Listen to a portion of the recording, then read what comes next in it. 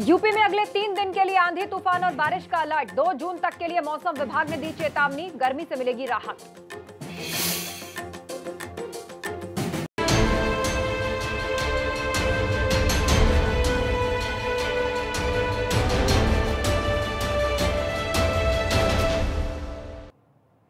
स्वागत है आपका, एबीपी गंगा देख रहे हैं आप। मैं हूँ आपके साथ आस्था कौशिक। लॉकडाउन फोर खत्म होने वाला है। अभी कोई नहीं जानता कि लॉकडाउन फाइव का क्या होगा। अब तक जितनी बार लॉकडाउन बढ़ाने का फैसला हुआ, उतनी बार रियायतें मिली। कभी ट्रेन चली, कभी बाज़ार खुले, कभी शराब की दुकानें खोली गई, लेकिन धार्मिक स्थल बंद रखने का फैसला बरकरार रहा। कई पूर्व में कई त्योहार आए, आकर चले भी गए, लेकिन धार्मिक स्थल तब भी नहीं खुले। आप धर्मगुरुओं ने सरकार से धार्मिक स्थलों को खोलने की मांग की है। यह पेशकश भी की है कि सोशल डिस्टेंसिंग के नियमों का पालन किया जाएगा। अब सवाल यह है कि क्या यह सही समय है धार्मिक स्थल खोलने का? एक रिपोर्ट देखिए। लॉकडाउन में बंद हो गए मंदिर, मस्जिद और गुरुद्वारे।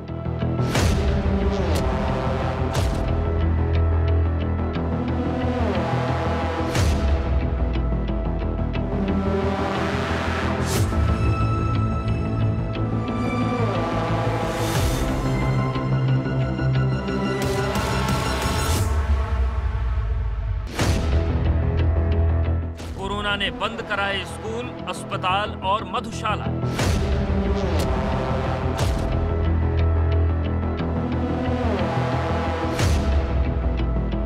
कोरोना से गिर गया उद्योगों, फैक्ट्रियों, दुकानों का शटर।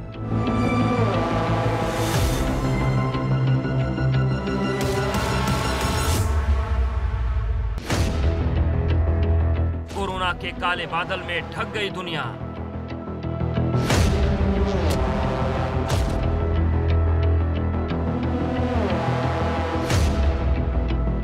लॉकडाउन में थम गए बड़े बड़े देशों के पहिए।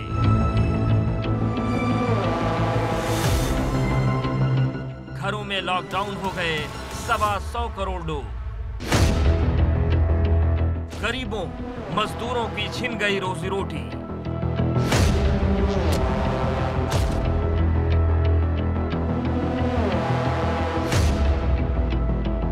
कोरोना संकट के बाद भी उठने लगी धार्मिक स्थल खोलने की आवाज़।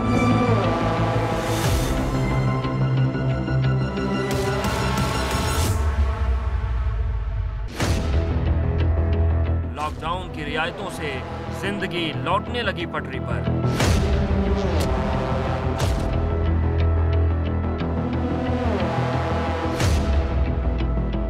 बड़ा सवाल, क्या आ गया है धार्मिक स्थल खोलने का समय?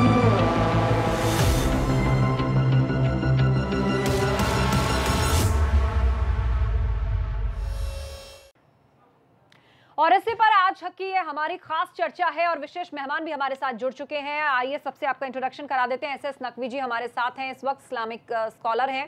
प्रियंका राणा हमारे साथ जुड़ गई हैं। सोशल एक्टिविस्ट हैं। पंडित राम प्रकाश शास्त्री हैं। हिंदू धर्मगुरु मौलाना खालिद रशीद फिरंगी महली साहब हैं। मुस्लिम धर्मगुरु दीपिका उपाध्याय धर्माचार्य भी हमारे साथ जुड़ गई हैं। आप सभी मेहमानों का बहुत बहुत स्वागत है एबीपी गंगा पर। मेरा सबसे पहला सवाल है, एस एस नकवी साहब, मैं आपके पास आऊँ, लेकिन रशीद फिरंगी महली जी से पहला सवाल मैं कर लेती हूँ। फिरंगी महली जी, इबादत गाहों को खोलने के लिए जो मांग की गई है, आपको लगता है कि जिस तरह से एक के बाद एक लॉकडाउन देश में हुए हैं, कोरोना के मामले बढ़ रहे हैं, आपको लगता है कि क्या ये धार्मिक स्थलों को खोलने का सही समय है?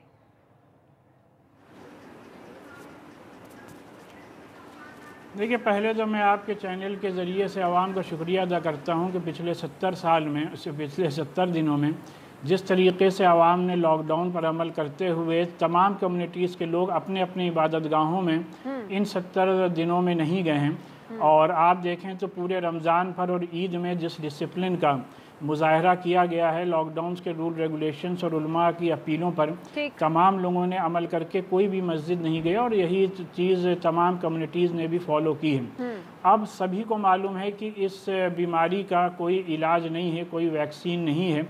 सिर्फ़ और सिर्फ़ प्रिकॉशंस ही इसका इलाज है तो लिहाजा हमें और आपको इस वक्त जो चीज़ दरकार है वो ये कि इन प्रिकॉशन के साथ हम्म। खुदा अल्लाह भगवान ईश्वर के शरण में यही जा कर के दुआ का सहारा लेना होगा इस वजह से हम लोगों ने गवर्नमेंट से ये अपील की है हम्म। कि with certain rules and and regulation with certain restrictions इन इबादत गाहों में जाने की सबको इजाज़त दी जाए और जो भी गवर्नमेंट इस सिलसिले में रूल रेगुलेशंस बनाएगी हम्म। उसको हम लोग इंशाल्लाह पूरी तरीके से फॉलो करेंगे। मतलब आपके कहने का मतलब ये है कि प्रिकॉशन रखें ध्यान रखें आप ये भी मान रहे हैं कि ये टफ टाइम है पूरे देश के लिए लेकिन रूल्स रेगुलेशन कुछ बनाए जाने चाहिए।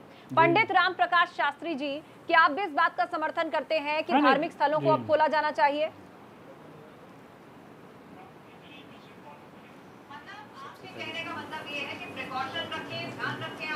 आप आप में से किसी के टीवी सेट का वॉल्यूम इस वक्त बढ़ा हुआ है। मेरी रिक्वेस्ट है प्लीज़ आप उसको बंद कर दीजिए वरना आपकी ऑडियो साफ़ नहीं आएगी। जी पंडित राम प्रकाश जी। अब आपके प्रश्न का उत्तर देता हूँ। जी। अभी जो आपने पूछा कि क्या ये सही समय है तो मेरा इस पे स्पष्ट विचार ये है कि परमात्मा तो सर्वत्र है। हरिव्यापक सर्वत्र समाना प्रेम प्रेम ते प्रकट होए में जाना। भगवान हर जगह है। जहाँ भी आप भगवान का स्मरण करेंगे उनको याद करेंगे वो किसी न किसी रूप में आपके पास मदद करने आएँगे। ठीक है ईश्वर तुलसी है इस संसार में पूजा कहीं भी की मिली जा ये सकती है सबसे लेकिन लेकिन क्या हाँ, इसके लिए धार्मिक स्थलों पर की जाना जा ज़रूरी सकती है है, आप इसका लेकिन समर्थन अभी करते हैं? सवाल सर सवाल का जवाब क्योंकि इतना सारा गैस पैनल हमारे साथ है बाद में लोगों की शिकायतें रह जाती हैं कि हमें मौका नहीं मिला। जी जी जी जी। मेरा ये मानना है कि अभी कुछ समय तक, क्योंकि ये बीमारी बढ़ रही है तो धार्मिक स्थल, चाहे मंदिर हो, चाहे मस्जिद हो, चाहे गुरुद्वारे हो, अभी सरकार फ़िलहाल इनको ना खोले। तो मैं समझता हूँ कि सबके लिए यह सुरक्षित रहेगा। हम्म, मतलब आपका मत है कि फ़िलहाल धार्मिक स्थलों को नहीं खोला जाना चाहिए वहाँ पर भीड़ लगती है और उससे संक्रमण फैल सकता है। ऐसे हाँ क्योंकि परमात्मा तो सर्वत्र है। आप जिस प्रकार से अभी आराधना कर रहे हैं। ठीक है ठीक है। शास्त्री जी मैंने आपकी बात सुनी। एस एस नकवी हमारे साथ हैं। आपका क्या मानना है? जिस तरह से राशिद फिरंगी महली जी कह रहे हैं कि कुछ रूल्स रेगुलेशंस के साथ खोला जाना चाहिए। आपको लगता है कि नमाज़ पढ़ने के लिए इबादत गाह जाना ज़रूरी है? जी देखिए सबसे पहले तो मैं एक बात बताना चाहूँगी कि हमारे देश में कभी किसी धर्म पे बंदिशें नहीं लगी हैं। इतने सारे धर्म हैं हमारे देश में तरह तरह के धर्म को मानने वाले लोग रहते हैं। लेकिन कभी बंदिशें लगी नहीं है किसी पे कि आपको किस तरीके से मानना है कैसे मानना है। अगर हमारे खलीफा इस समय आ, सरकार के जो भी इंतज़ामिया है हम ये नहीं कहते कि सरकार बुरी है या अच्छी है जो भी है हमारे खलीफा वही हैं। इस समय उन्होंने जो भी सोच समझ के फैसला लिया है धर्म स्थानों को ना खोलने का तो ये हमारे हित में है ये बीमारी है और लोगों का जहन शायद थोड़ा बीमारी से मौलाना साहब का हटा है यहाँ पर। और जहन बीमारी से नहीं हटना चाहिए। हमें इस वक्त धर्म स्थानों का खुलना और भी ख़तरनाक हो सकता है इंसानों के लिए क्योंकि नंबर ऑफ़ केसेस हमारे कंट्री में बढ़ते जा रहे हैं। बढ़ते जा रहे हैं और भारत का आंकड़ा मैं अपने दर्शकों को बताऊँगी लगता कि कि एक लाख तिहत्तर हज़ार के पार पहुँच चुका है। एक लाख तिहत्तर हज़ार से ज़्यादा मामले भारत में सामने आ चुके हैं और यूपी की बात करूँ तो सात हज़ार चार सौ पैंतालीस मामले सामने आ चुके हैं। और फिर भी मौलाना राशिद फिरंगी महली जी कह रहे हैं कि प्रिकॉशंस या रूल्स रेगुलेशंस बनाएँ और उसके साथ इनको खोल दिया जाए। क्यों? नहीं बिल्कुल नहीं खुलना चाहिए। इस समय तो बहुत राशिद जी, इस बात का जवाब हमारे लिए खतरा राशिद जी, इस बात का बीमारी जवाब है किसी जी। नहीं मैं मैं जवाब दे रहा हूँ। मैंने बात शुरू में बात कही कि जिस जिस डिसिप्लिन का मुजाहरा पूरे रमज़ान भर और ईद जिसमें लाखों की पब्लिक ईदगाहों में मस्जिदों में जमा होती है सबने पूरे डिसिप्लिन का मुजाहरा करते हुए सिर्फ़ चार से पाँच लोगों ने ही नमाज़ें अदा की हैं और same cheese Bakiya places of worship और बकिया कम्युनिटीज़ के लिए भी है। मार्केट्स खोल दिए गए हैं ऑफ़िस खोल दिए गए हैं और क्या क्या खोला गया है वो आप लोगों को हमसे बेहतर मालूम है। मैं उस फ़ील्ड में जाना नहीं चाहता। लिहाजा जब हर सेक्टर में कुछ ना कुछ रियायतें दी गई हैं तो ज़रूरत इस बात लेकिन की है सर कि जो एक इकोनॉमिक पहलू है जो देश के लिए ज़रूरी है प्रदेश के लिए ज़रूरी है आप मार्केट का ज़िक्र कर रहे हैं उनका एक इकोनॉमिक पहलू है। लेकिन उसी बात को एस एस नकवी जी। ने भी कहा और पंडित राम प्रकाश शास्त्री जी भी कह रहे हैं कि पूजा के लिए या इबादत के लिए किसी इमारत मंदिर या फिर मस्जिद में जाना ज़रूरी है। वो तो घर में भी हो सकती है कहीं भी हो सकती है। देखिए ये कहने में अच्छा लगता है लेकिन हकीकत ये नहीं है। हकीकत ये है कि जितनी भी इबादत गाहें हैं उनके बनाने का मकसद ही यही है कि वहाँ अल्लाह भगवान ईश्वर की इबादत की जाए।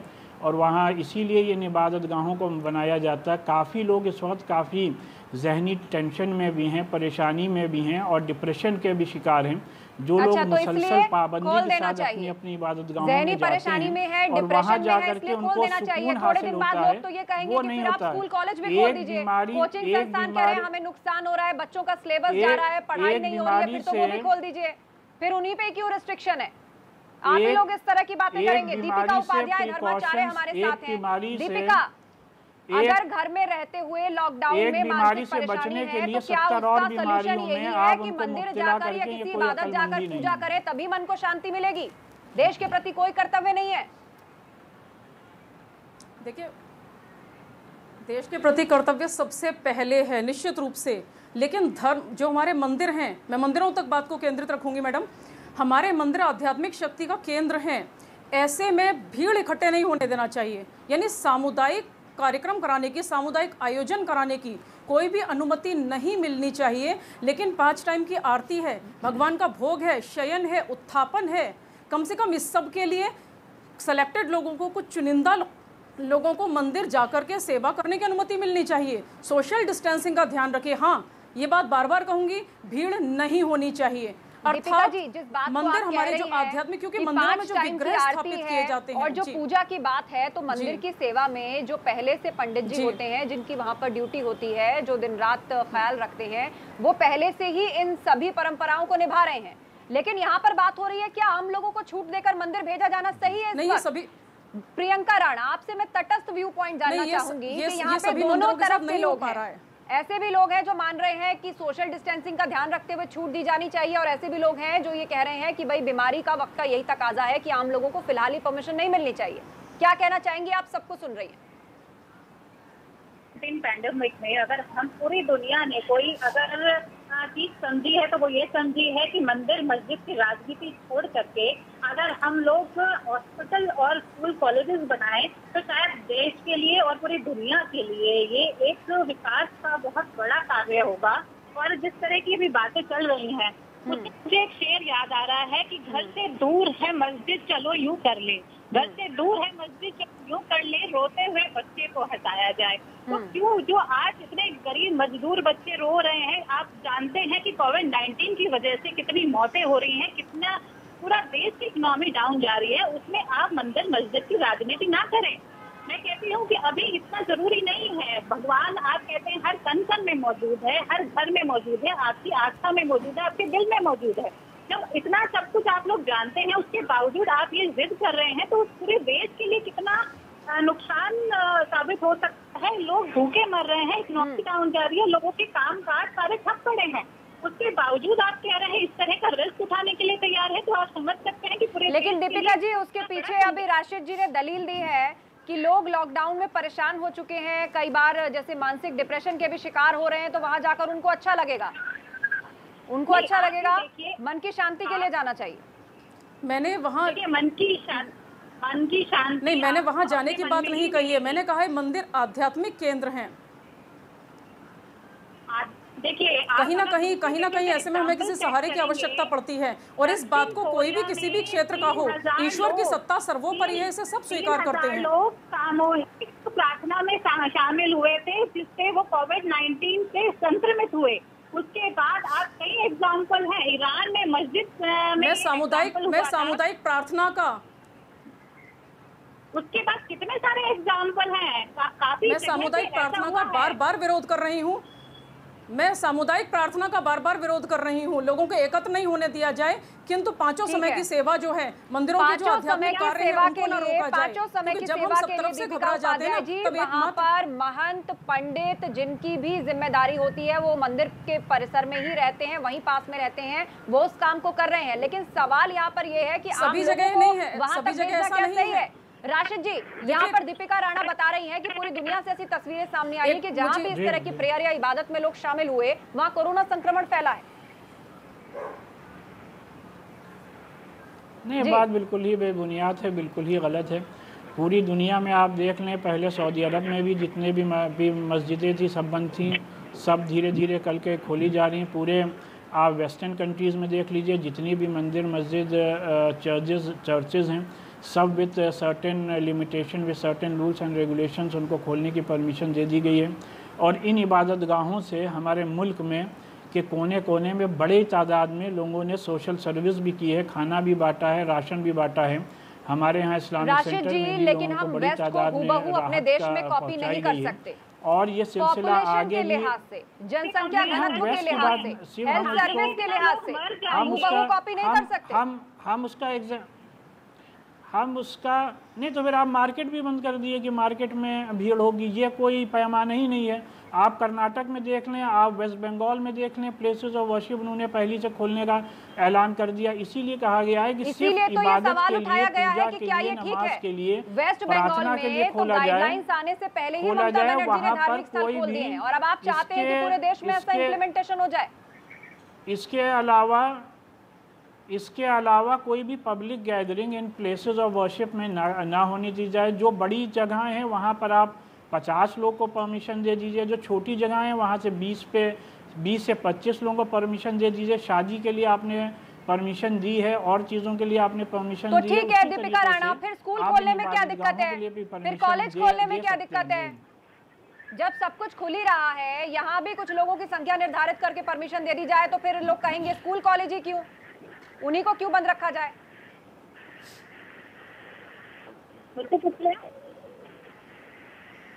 हेलो? जी जी प्रियंका राणा। हाँ जी। जी बिल्कुल और जिस तरह की बातें कर रहे हैं इनको समझ में नहीं आ रहा है। आप फ़ूड डोनेशन के लिए बात कर रहे हैं कि फ़ूड कैंप क्यों लगाए जा रहे हैं खाना क्यों बांटा जा रहा है किस तरह की बातें आप कर रहे हैं। गरीब लोगों को खाना खिलाना एक भूखे आदमी को खिलाने से और आप मस्जिद मंदिर में आप सामूहिक प्रार्थना आयोजन करने से उसको कंपेयर कर रहे हैं। इतने सारे लोग और मैं कहती कौन सा भगवान खुश होगा आपकी प्रार्थना से? और वो कौन सा भगवान है जो ये देखेगा कि कोई भक्त उसके स्थल पर आए और उसको कोरोना होकर के, वो दुखी होकर के वहाँ से जाए? तो मुझे तो लगता है कोई भी भगवान या कोई भी अल्लाह की इजाज़त भी देता है। भगवान कभी नहीं ये कहता है कि भक्त को परेशान किया जाए, भक्त को इस तरह से बीमारी से संक्रमित कर दिया जाए। थोड़े दिन के लिए आप धार्मिक स्थल को अगर रोका जा सकता है तो उसमें दिक्कत क्या है? और अगर सभी स्थल पर इतनी ज़्यादा आपने व्यवस्था कर दी है तो ज़िम्मेदारी ले लीजिए। आप लोग अपने ऊपर ज़िम्मेदारी लीजिए कि हम लोग जो धार्मिक स्थल है उसके जो कुछ लोग आएँगे और सोशल डिस्टेंसिंग के साथ फॉलो करेंगे एक लेटर दीजिए और अपनी ज़िम्मेदारी पर एक काम कीजिए। लेकिन अगर वो ज़िम्मेदारी अगर आप नहीं करते हैं और आपकी गलती की वजह से किसी को भी ऐसा संक्रमण होता है या किसी को भी ऐसा बीमारी फैलने की आशंका होती है तो आपके ऊपर कड़ी से सजा होनी चाहिए। उसमें ये भी प्रावधान होना बताइए चाहिए राशिद जी, ऐसी ज़िम्मेदारी लेंगे आप? तैयार होना चाहिए। ऐसी ज़िम्मेदारी लेंगे आप? ऐसा डिक्लेरेशन करेंगे आप? देखिए ये सब गारंटी दे सकते हैं सोशल डिस्टेंसिंग का पालन वो जनता करेगी। ये सब बेबुनियाद बातों दे, देखिए सब बेबुनियाद बातों का हम यहाँ जवाब देने के लिए नहीं बैठे हुए हैं। जो लॉजिकल बात है वो हैं, वो की जाए। ये जितने भी ये तो जगहें खोली गई हैं क्या क्या वहाँ पर कोई क्या वहाँ पर कोई ज़िम्मेदारी किसी की हैं। आप ज़िम्मेदारी नहीं लेना चाहते। जब कुछ हो जाएगा तो फिर सरकारों पे थोप दीजिए कि सरकार ने एक्शन नहीं लिया। बताइए मौलाना राशि राशिद जी मैं सब कुछ सरकारों पर डालकर होगा। जब लोग मधुशाला जाते समय सोशल डिस्टेंस जब जी जी। देखिए अगर बीच में ये ना बोलें तो मैं बोलूँ मैं इस तरीके जब से सोशल डिस्टेंसिंग का पालन मधुशाला में हो सकता है बाज़ार में हो सकता है। तैयार हूँ तो, तो मैं बोलूँ इस तरीके से मैं नहीं बोलूँगा। दीपिका जी सोशल डिस्टेंसिंग की आप बात कर रही हैं मधुशाला और धार्मिक स्थलों को एक साथ आप जोड़ करके कह रही हैं वहाँ किस तरह की सोशल डिस्टेंसिंग देखी गई जब उन्हें खोला गया था वो नहीं मैं मधुशाला और उसको एक साथ नहीं जोड़ रही हूँ। आप भूल गई वो तस्वीरें? कहाँ सोशल डिस्टेंसिंग मैं बिल्कुल नहीं भूली हूँ मैं कुछ और पूछ रही हूँ मैडम। मैडम मैं नहीं भूली हूँ। मैं आपसे मैं आपसे कुछ और पूछ रही हूँ। वही जनता देश की वही जनता जो बाज़ार जाते समय जो बस और ट्रेन में सफ़र करते समय जो सड़क पर निकलते समय जो मधुशाला जाते समय सोशल डिस्टेंसिंग का पालन कर सकती है क्या वो जनता सिर्फ़ धर्म के नाम पर मूर्ख बन जाती है? क्या धर्म के नाम पर सिर्फ़ एक भेड़चाल बन जाती है? मैं ये इन लोगों से पूछना चाहती हूँ। सारी की सारी पाबंदियाँ सिर्फ़ धर्म के खाते में क्यों आती हैं? एक तरफ़ हम कहते हैं ईश्वर सर्वशक्तिमान है इसे हर व्यक्ति स्वीकारेगा। जब ईश्वर सर्वशक्तिमान है आप किसी सर्व शक्तिमान व्यक्ति को ताले में बंद कर दीजिए और हमारे ऊपर समस्याएँ हम चिल्लाएँ कि हमें फला व्यक्ति आकर बचाता क्यों नहीं? तो अब मुझे बताइए जिस व्यक्ति को आपने ताले में बंद कर दिया है वो व्यक्ति निकलकर आपको बचा लेगा इबादत कर सकते हैं। देखिए हमारे यहाँ जो मंदिरों में है भगवान की पूजा ये एक तर्क नहीं बालक हो मान सकता है, करके अपने घर से भी इबादत कर सकते हैं। छोटे से बालक को मान करके या भगवान को मनुष्य में मान करके हैं। घरों से इबादत कर सकते हैं ये किसी भी हैं, धर्म की किताब में नहीं लिखा है कि हम धार्मिक स्थानों पूरे जाकर ही पूजा यही किया करें है। ऐसा ज़रूरी नहीं है। नहीं हमने पूरे नवरात्र यही किया। अच्छा मैं मैंने आपसे कहा है कि को मंदिरों में मंदिरों को खोला इसलिए जाना चाहिए ताकि वह पाँच समय की भोग आरती आदि दीपिका जी आपने अपनी बात कह ली पंडित राम प्रकाश शास्त्री जी कहा जाता है नर सेवा नारायण सेवा। हम्म और भगवान तो कण कण में है हर घर में है और जो जी। आध्यात्मिक शांति के लिए या पूजा पाठ के लिए या मोक्ष मार्ग के लिए पूछते हैं तो कहा जाता है भीतर झांको। तो ऐसे में क्या घर से बाहर निकलकर जाना ही लोगों को असली पुण्य देगा? क्या मंदिरों में जाकर पूजा करना या बाहर गाँव में जाकर वहाँ पर प्रेयर्स करना वो ही असली शांति देगा क्या? नहीं। किसी भी प्रकार से नहीं मैं पहले से ही आपको बता चुका हूँ और अभी भी हमारे देश की जितनी भी माताएँ हैं बहनें हैं भाई हैं बुज़ुर्ग हैं सबने इस देश के कल्याण के लिए सभी धर्म के लोगों ने अपने घर में बैठ कर के भगवान की आराधना की है और परमात्मा का जो संबंध होता है वो श्रद्धा और भाव से होता है। तो हमारी श्रद्धा कहीं भी हम घर भी एक मंदिर है वहाँ बैठ कर के निरंतर ये प्रार्थना करें कि परमपिता परमेश्वर ये जो महामारी का समय में है लोगों ने पूजा के स्थान भी बनाए हुए हैं लोग सुरक्षित हुआ है रहें वहाँ बैठकर वो हाँ। पूजा अर्चना कर सकते हैं। लेकिन बिल्कुल एसएस बिल्कुल। नकवी हमारे और साथ एक हैं एक बात मैं और कहना चाहूँगा अब नकवी निश्चित की रूप समय की थोड़ी सी कमी है मैं चाहती हूँ देखिए, निश्चित उनको रूप ज़्यादा से- समय नहीं मिल पाया है।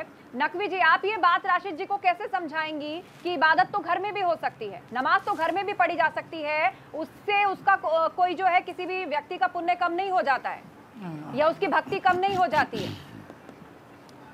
बिल्कुल कम नहीं हो जाता है। बिल्कुल नहीं है, क्योंकि किताब में किसी लिखा नहीं, किसी भी धर्म की किताब में ये नहीं लिखा है कि नमाज़ जाके किसी एक ही जगह पे होगी, एक ही इमारत में हो सकती है। अगर ऐसा ही इस्लाम में हमारे लिखा होता शरे में ऐसा ही लिखा होता कि नमाज़ पढ़ना मस्जिद में ही ज़रूरी है, मस्जिद में ही जाके नमाज़ जायज़ है तो ये सारे पूरी दुनिया में जो मस्जिदें बनी हैं और धार्मिक स्थान हर धर्म के बने हुए हैं, वो ऐसा नहीं लोग कर पाते, क्योंकि फिर अगर आपको नमाज़ पढ़ने के लिए काबा जाना पड़ता, मस्जिद नबी जाना पड़ता, मस्जिद अक्सा जाना पड़ता, क्योंकि हमारे इमामों ने हमारे उलमाओं ने हमारे नबी थे उन्होंने नमाज़ वहीं अदा करी थी।